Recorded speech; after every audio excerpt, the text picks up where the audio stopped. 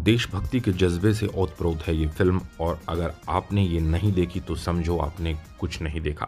तो आज रिव्यू करेंगे फ़िल्म सरदार उधम को, जो बेस्ड है सरदार उधम सिंह के जीवन के ऊपर। और आपको पता है कि सरदार उधम का देश के लिए कितना योगदान रहा है। आपको बता दें कि जो जलियांवाला बाग का कांड था उससे आप सभी परिचित होंगे और अगर जो परिचित नहीं हैं, वो ये फ़िल्म ज़रूर देखें और अपने जो बच्चे हैं, उनको भी इस फ़िल्म को ज़रूर दिखाएँ, क्योंकि ये फ़िल्म बहुत कुछ कहती है।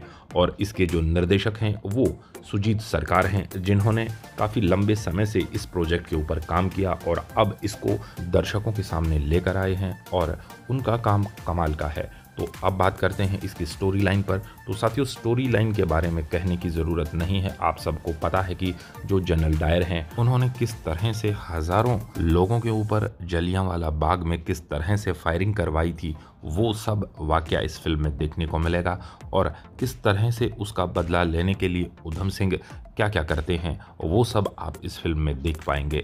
बाकी संघर्षों से भरी ज़िंदगी रही है उधम सिंह की और इसको बड़े अच्छे से जो है फिल्मांकन किया है सुजीत सरकार ने। बाकी उस समय जनरल डायर ने 10 मिनट के भीतर 1650 राउंड जो है गोलियों के चलवा दिए थे, जिसके चलते हज़ारों लोग जो है मारे गए थे और अपनी जान बचाने के चक्कर में जलियांवाला बाग में जो कुआँ है, उसमें कूद गए थे और उस भगदड़ में हज़ारों लोग मौत के घाट उतर गए थे। और इसी को लेकर जो एक एक सीन है उसके ऊपर बारीकी से काम किया गया है और विक्की कौशल ने कमाल की एक्टिंग की है और अपने रोल को एकदम जस्टिफाई किया है। बाकी अगर बात की जाए सिनेमेटोग्राफी की तो सिनेमेटोग्राफी भी कमाल की है। जो लंदन के शॉट्स हैं या जलियांवाला बाग के शॉट्स हैं, वो कमाल के हैं। और जो बीजीएम है, वो अच्छा है फ़िल्म के साथ रिलेट करता है।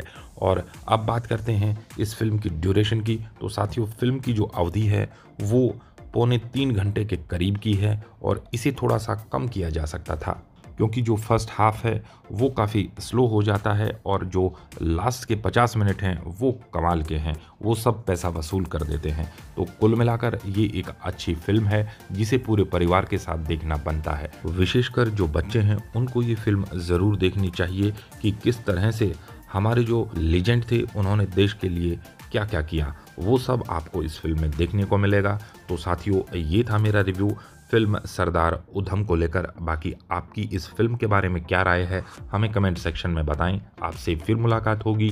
Till then take care be safe please to like subscribe share and comment Filmy Tau YouTube channel have a nice day जय हिंद